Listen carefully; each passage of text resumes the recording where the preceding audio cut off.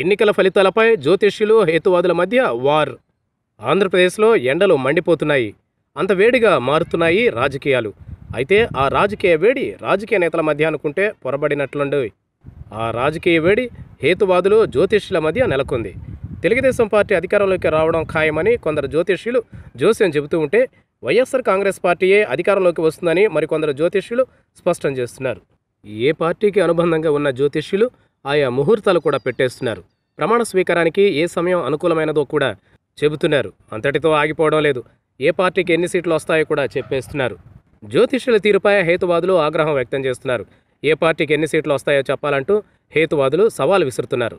ఎన్ని సీట్లు వస్తాయో ఖచ్చితంగా చెబితే తాను ఐదు లక్షలు నజరానా ఇస్తానని ఏపీ హేతువాద సంఘం రాష్ట్ర అధ్యక్షుడు నార్ని వెంకట సుబ్బయ్య ప్రకటించారు. దమ్ముంటే తన సవాల్ను స్వీకరించాలని జ్యోతిష్యులను కోరారు.